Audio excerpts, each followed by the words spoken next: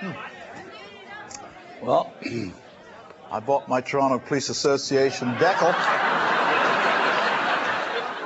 Isn't that great? You stick it on your car, next time you get stopped, you go.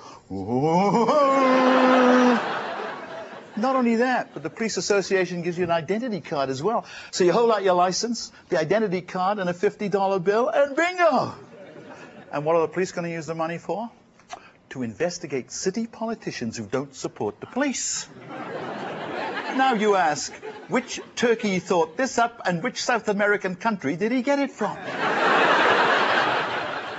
His name is Craig Bromell, head of the Toronto Police Association. And he's realized that the police board, the senior police officers, and the Toronto City Council have a collective backbone that needs Viagra to keep it upright. I hear the Police Association have stopped this form of fundraising. They now intend to change the name from Operation True Blue to Operation Screw You.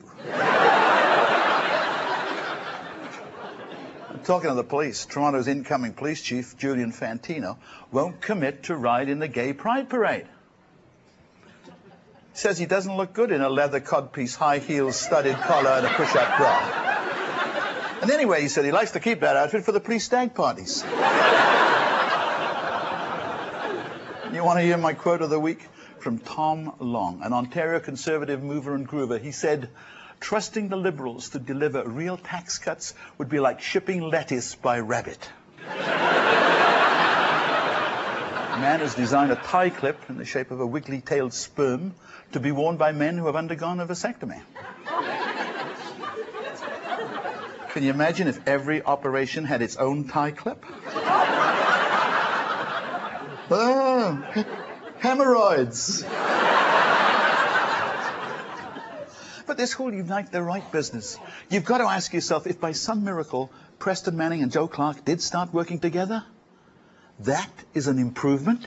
At their convention, 1,100 people cast 1,400 votes.